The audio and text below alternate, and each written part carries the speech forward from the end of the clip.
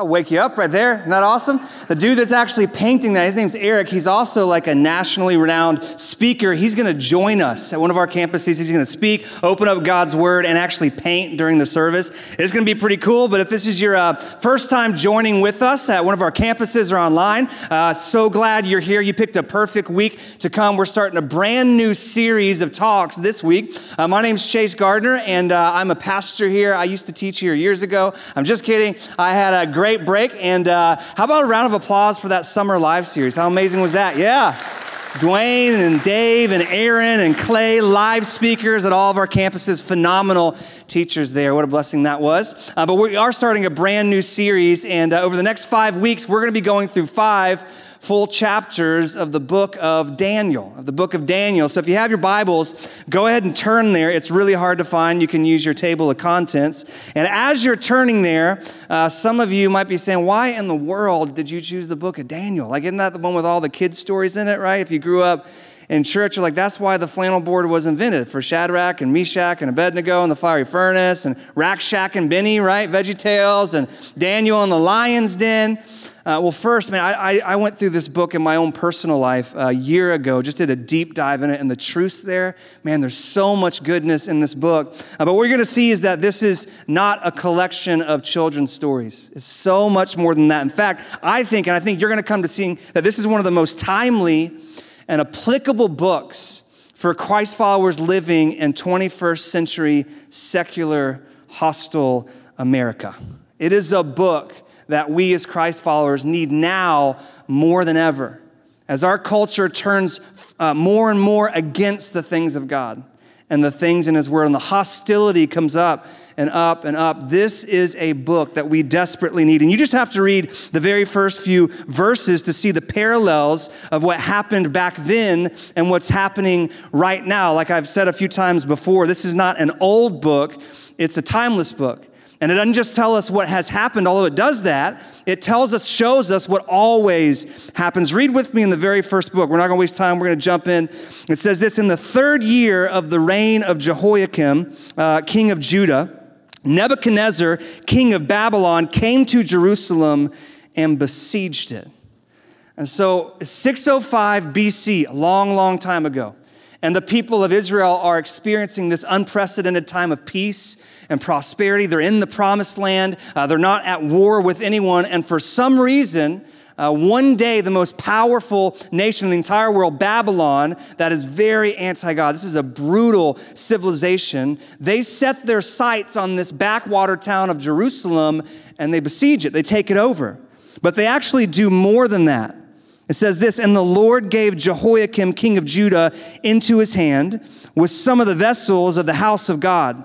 And he brought those vessels to the land of Shinar, to the house of his God, and placed the vessels in the treasury of it. So not only do they take over the city, but they enter into God's holy temple where his presence is said to reside, and they enter the Holy of Holies and they take like the, the holy candlesticks or the lampstands, these precious and religious artifacts, national treasures, and they take it back and just toss them on the floor of the temple of their God. So they desecrate and disrespect their place of worship, but it gets even worse. Verse 3, it says this Then the king commanded Ashpenaz, the chief eunuch, to bring some of the people of Israel to Babylon as well both of the royal family and of the nobility, use without blemish, of good appearance, and skillful in all wisdom, endowed with all knowledge, understanding, learning, and competent to stand in the king's palace, and to teach them the literature and the language of the Chaldeans, the Babylonians. They were to be educated for three years, and at the end of that time, they were to stand before the king. Among these were Daniel, Hananiah, Mishael, and Azariah of the tribe of Judah. And the chief of the eunuchs gave them new names. Daniel he called Belteshazzar. Hananiah he called Shadrach. Mishael he called Meshach. And Azariah he called Abednego. So the Babylonians don't just invade the town, they don't just desecrate the temple, but they actually kidnap the youths of Jerusalem. So Daniel and his three friends are actually victims of human trafficking. They're about 13 to 15 years old, and they're transported to the city of Babylon where they're to be re educated, where they were to be taught how to be good Babylonians and to turn against the Israelites, how to turn against their God and how to worship the gods of Babylon. So the city's been sieged. The temple's been desecrated, people have been deported. And so for Daniel, every single thing he's ever known changed overnight in the blink of an eye. He went from a godly home with a godly culture and godly morals and godly values, and now he's woken up in a godly place and a godless culture with godless views and godless values. And they have to figure out what in the world do we do now? How do we live faithfully in an environment like this? How can we not just survive, but how do we thrive in a place like Babylon? And hopefully, you're seeing how important this book is for us. Because I don't know if it's just you, but when I was growing up, maybe it's because I was born in the South, but like 90, 95% of the people that I knew, although they weren't like sold out Christ followers, they, they at least had a church that they attended occasionally. Or they would agree with the Ten Commandments. Or they had a basically Judeo Christian worldview. And it just seems like overnight, everything has changed in the blink of an eye. Now, at this moment in America, it is very odd and strange to be a Christ follower. Our culture does not believe in or live according to the Ten Commandments or a biblical worldview. In fact, the truths of the Bible that people used to believe all over the place are now not just seen as outdated or insufficient, but they are hated. And they're seen as dangerous, as something that this world needs to get rid of. And there's this daily and there's mounting pressure to conform to this sort of culture, to leave behind God and His ways and to adapt to and adopt the way of life that our culture is pushing. And we feel the pressure, don't we? Now, it's not nearly as bad or as hostile as Babylon is at this moment, but I feel the pressure, right? You feel that pressure to not say certain things around the, the cooler at the office. There's certain things you can share and certain opinions that you have to keep to yourself. You feel the pressure when you have to have another conversation with your child after their teacher said something kind of crazy, went on an anti God tirade. You feel that pressure when you're driving through your neighborhood and there's flags or there's signs in everybody's yard except for your own?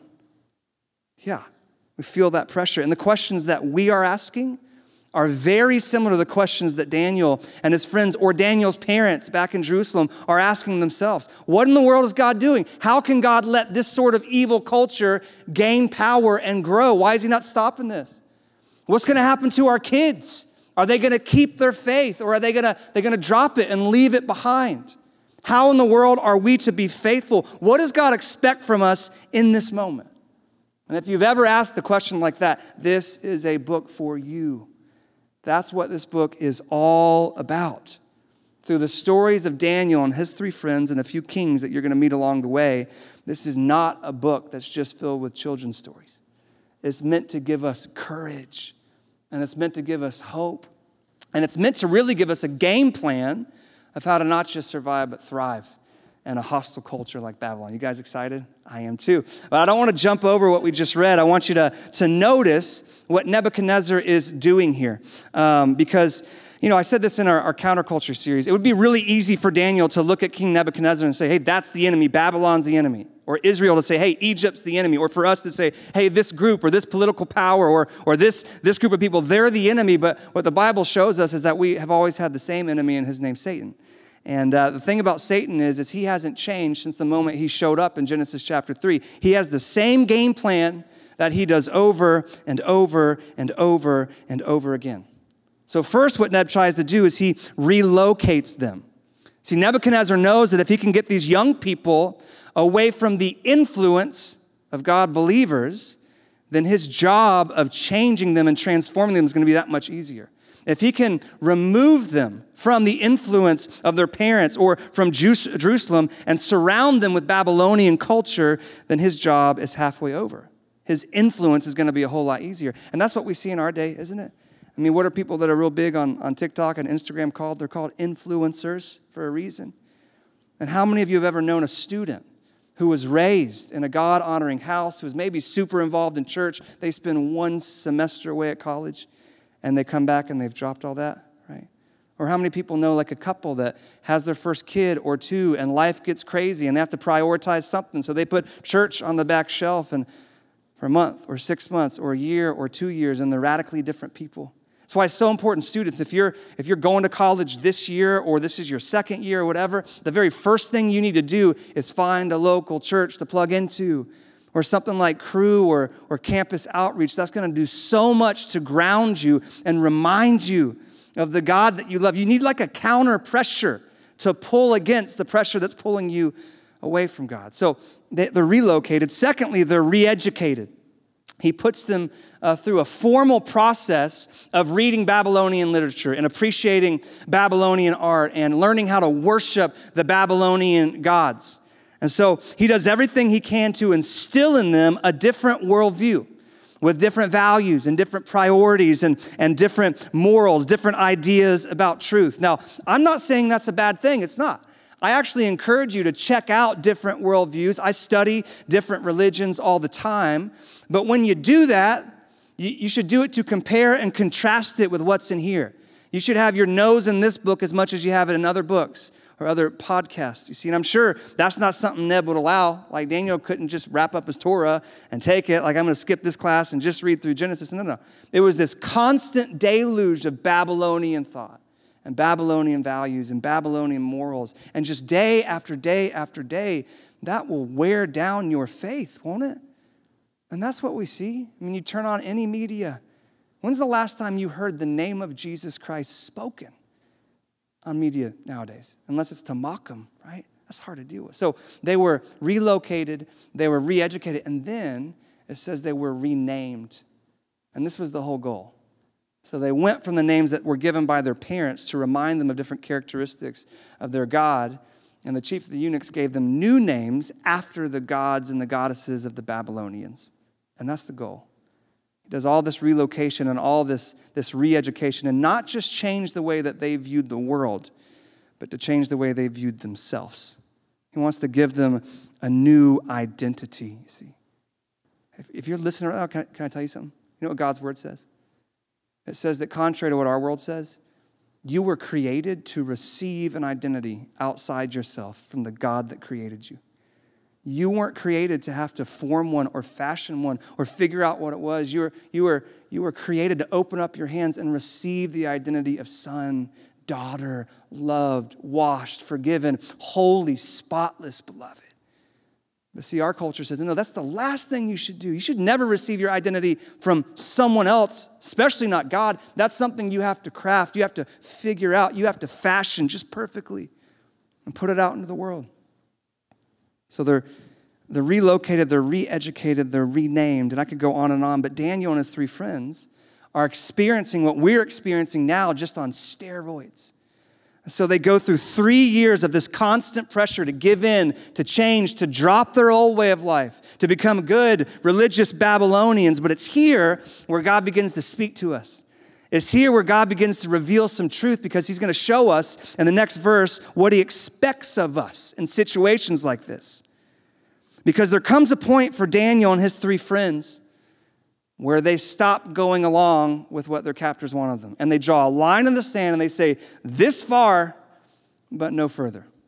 There comes a point where they look at the king and they say, No, no, we can't do that.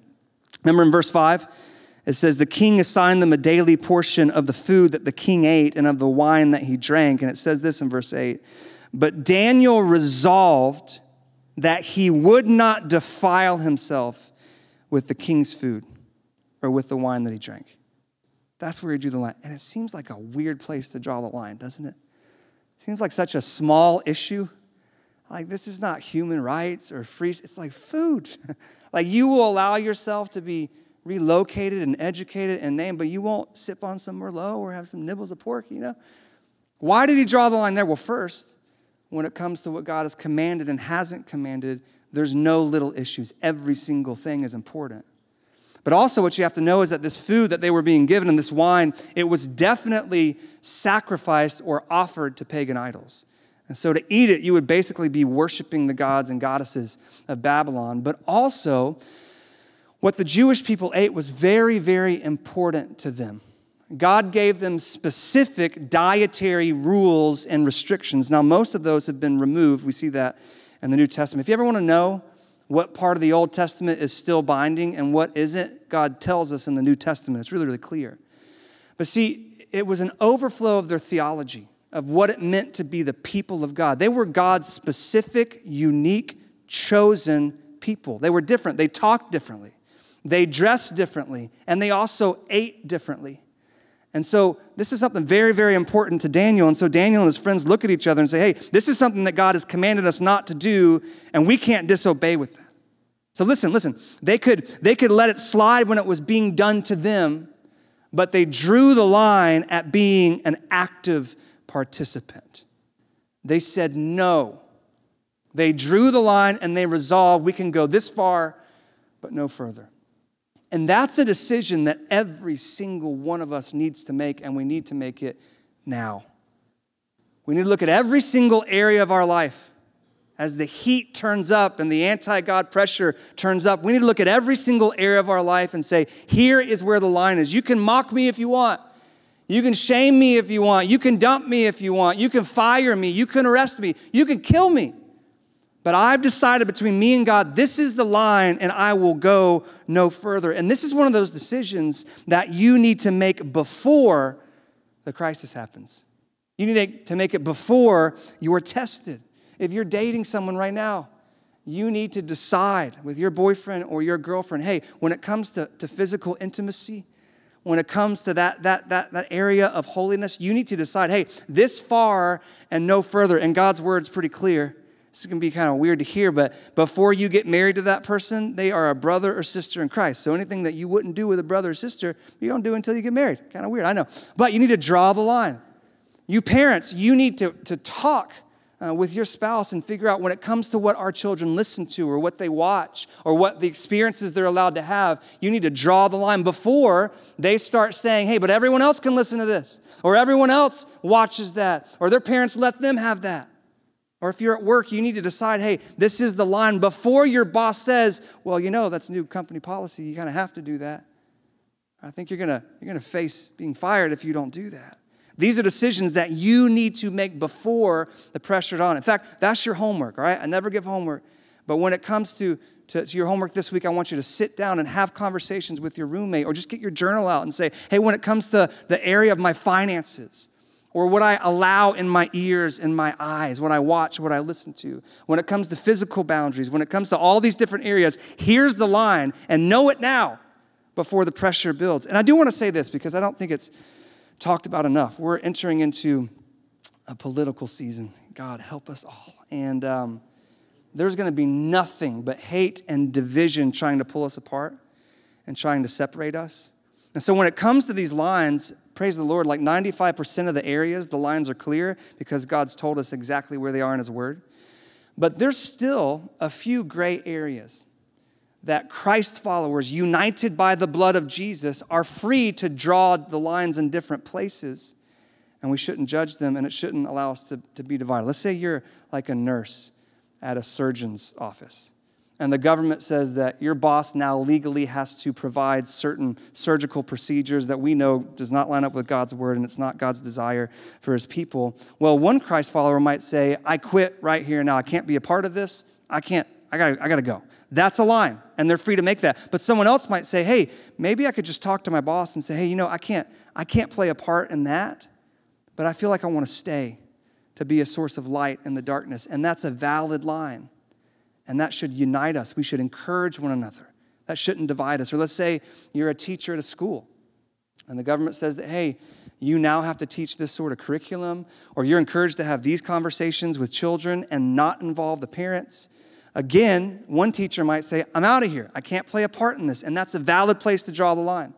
Where another teacher might say, man, maybe I can just move jobs and transition and do something different, but I want to stay. And I want to love these kids. I want to be a force for good. Both of those are valid places to draw the line, and they shouldn't separate us. They shouldn't separate us. Now, I'm not saying that you're free to disagree with the clear truths of God's word. We're not free to do that. There are clear black and whites. You are not free to sit on a board and okay or vote yes to racist or discriminatory business practice. You can't do that. You can't be a nurse that hands a scalpel to a doctor that takes the life of an unborn child. Those are black and white issues, right? We fall under God's word there. But when it comes to the gray areas, We can draw those lines in different places and it not be a source of division. But hear me. All of us need to decide where that line is right here and right now. Because we're all going to be tested in the coming years. And it would be foolish to try to decide then. So, this is where Daniel draws the line. Y'all going to hate this. But look at the way in which he drew the line. Look at the character that overflows when he has to stand up and say no to a hostile culture. It says this in verse 8, second half. Therefore, because he's resolved he's not going to defile himself, he asked or inquired of the chief of the eunuchs to allow him not to defile himself. And God gave Daniel favor and compassion in the sight of the chief of the eunuchs. And the chief of the eunuchs said to Daniel, I fear my lord the king. I'm afraid of Nebuchadnezzar who assigned your food and your drink? For why should he see that you are in worse condition than the youths of, uh, uh, are of your own age? So you would endanger my head with the king. Then Daniel said to the steward, a different guy, a little bit further down the line, whom the chief of the eunuchs had assigned over them Test your servants for 10 days. Let us be given vegetables to eat and water to drink then let our appearance and the appearance of the youths who eat the king's food be observed by you, and deal with your servants according to what you see. How did he handle this? In a very un American way, if I can say that. He's polite, he's respectful, he's honoring, he doesn't cause a scene. He does the opposite of how most of us are tempted to react when we're for- forced to draw a line. It says he asked, he inquired of, he didn't demand, he didn't cuss them out, he didn't start a social media campaign making fun of like his boss. He made a simple and polite request for permission, and then he just dealt with the answer that he got. No, I can't do that. King will cut my head off. I understand. That's a hard position. Thank you for your time. And he moves a little bit further down the line. And again, it says that he asks or he inquires of this guy hey, just test us, give us some vegetables. He acknowledges their authority over him. He makes requests, not demands. And I could keep going, but to sum it up, he practices what we see all over the Bible. It's called respectful non participation. Respectful non participation. This is something I think we've lost in our country. It's so important. I don't know why a lot of Christians see how other people react and treat us. We see the tactics that people who are opposed to us, we see the tactics that they use, and for some reason we think that we're free to abandon this whole thing and adopt those same tactics for ourselves name calling, mocking, coarse language, belittling, labeling, mischaracterization. You turn on the, the cable news, either side, any side, are you going to see humility? Are you going to see respect? Are you going to see honor? No, no, no. It's just egotistical, prideful, self exalting, demeaning, dehumanizing. But that is not the way that we see any godly man or woman behave in the Bible when they stand up to culture. Read the story of Abraham. Genesis 17, when he's standing up to these two or three nations that have kidnapped his brother in law, there's respect there. You see how Moses stood up to Pharaoh, how David responded to Saul, who was trying to kill him. You see how Nehemiah, go back and read that book. All these people were lie about him, trying to, to, to infiltrate and, and stop what he was doing, trying to get him killed.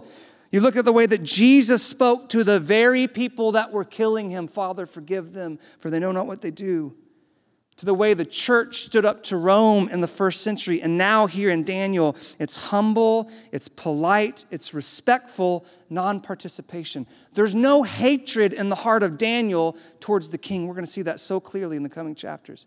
How do you reach or influence someone you hate? You don't.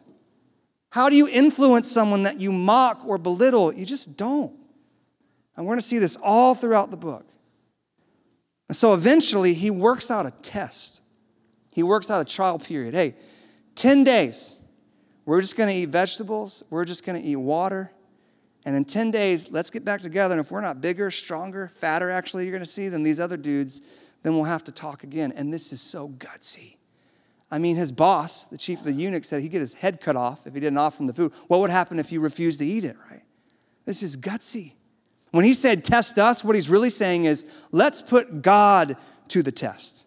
because God's going to have to come through or we're going to be in big trouble. I want you to this. See, in this type of culture, in this type of impossible situation, in this type of, of, of, circumstances, you will find out very quickly whether you possess something that is that very few people possess. Something that is absolutely necessary to be faithful during these times. Without it, you're going to be dead in the water. You want to know what it is? It's something called conviction. Everyone say conviction. Conviction is the heart level decision that in every area of my life, whether it's private or public, whether it's seen or unseen, in every single area of my life, I'm going to obey God and I'm going to trust Him with the consequences. I'm going to obey God and I'm going to leave the results in His hands. And there's so few people that have this type of conviction. And so few people have it. You know why? Because it's not formed overnight. It takes years, decades even, of reading God's word and crying out to Him and chasing hard after Him and obeying in the small things before it comes to the big things. It takes years to develop this. One uh, pastor said, Crisis doesn't create conviction, it reveals whether it's there or not. And David has it. His back's against the wall, and we just see conviction spilling out. And so this is what he does. So we listened to them in this matter and tested them for 10 days. And at the end of 10 days, it was seen that they were better in appearance and, circle, fatter in the flesh than all the youths who ate the king's food. It worked. They got fat, which is why you shouldn't buy that book on the Daniel diet, right? That's not what diets are supposed to make you do. They're not supposed to make you fat, they're supposed to make you skinny. I'm not saying, I mean, some of you could do with 10 days of vegetables and water, okay? That's I'm just kidding. You're like, I would respectfully not participate in that. But the point is, this is not God telling us how to eat, it's a miracle. You shouldn't gain weight on vegetables and water. So God performed a miracle. God came through, and the king notices. Verse 16 So the steward took away their food and the wine they were to drink and gave them vegetables. And as for these four youths, God gave them learning and skill and all literature and wisdom. And Daniel had understanding and all visions and dreams. And at the end of the time, when the king had commanded that they should be brought in, the chief of the eunuchs brought them in before Nebuchadnezzar. And the king spoke with them, and among all of them, none was found like Daniel, Hananiah, Mishael, and Azariah. Therefore, they stood before the king, which means they were a part of the inner circle of the most powerful person in the world. And in every matter of wisdom and understanding about which the king inquired of them, he found them ten times better than all the magicians and enchanters that were in all of his kingdom. And Daniel was there until the first year of King Cyrus. And it's this incredible story that really sets us up for all the stuff, all the themes coming in the next few weeks. But it's a good story. It's a crazy story because how does it begin? Well, Babylon takes over the city, and that seems like a horrible thing. And they desecrate the temple, and that seems like a horrible thing and they relocate, they kidnap these kids. It seems horrible. And they re educate them. And Daniel and his friends for three years face constant pressure to deny God and to adopt the gods and the goddesses of the Babylonian. But because they acted with conviction and because they were courageous and they obeyed, what was the result? They were placed in the inner circle and they had not just proximity, but influence to the most evil, but also the most powerful person in the world. And it's almost like God planned it, isn't it? It's almost like all of this happened for a reason. And that's the point of this chapter.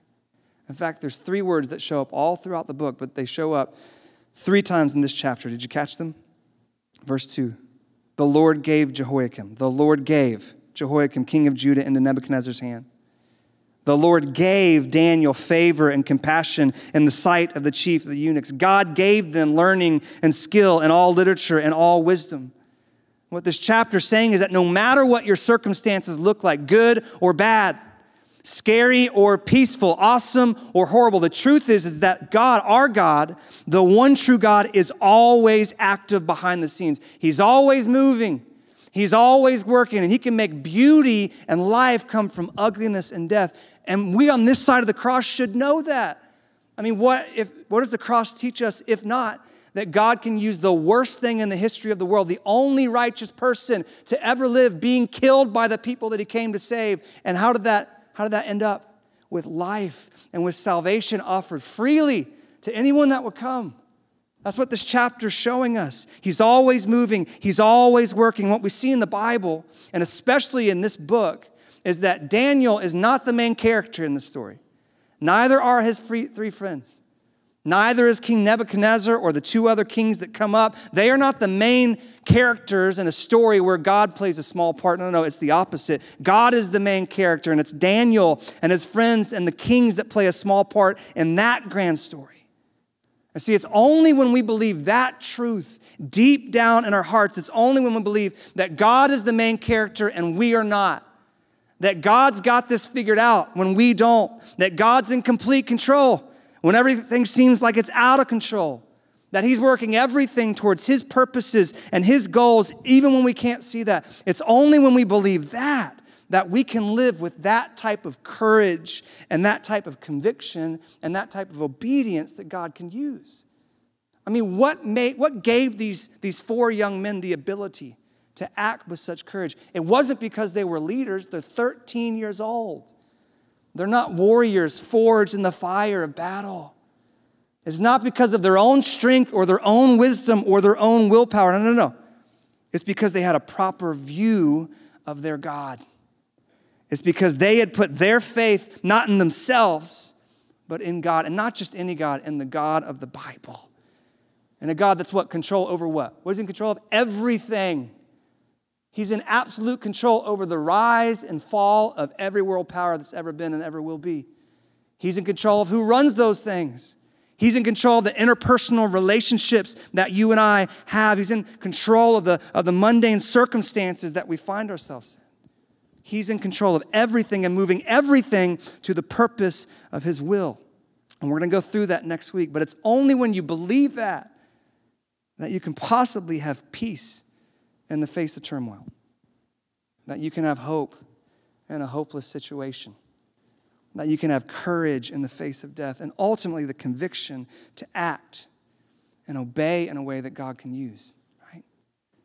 The next few weeks are going to be so important in the life of our church. I want you to be here, I want you to bring friends. If a message like stuck with you, share it online, just give the YouTube link out. It's going to be incredibly important. So, yes, we're in the midst of a hostile culture, just like Daniel was all those thousands of years ago. But God is sovereign even here. And nothing has ever been out of his control. Nothing is currently out of his control. Nothing will ever be out of his control.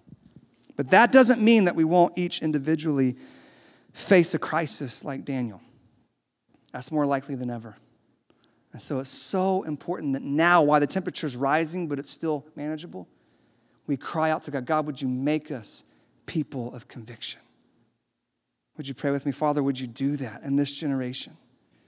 God, would you so um, take out of our eyes and our vision the threats and the fear and all of that, and instead, would you fill our vision with your glory and your power and your goodness? Would the history of the millions of times that you've come through for your people, used bad things for eternal good things, would we believe that, Father? So, Father, I pray that we would do some hard thinking, have some hard conversations, that we would look at where we need to draw the line in all these different areas. And when we are put to the test, Father, would you use it? Would you give us courage? Would you give us faith to stand up?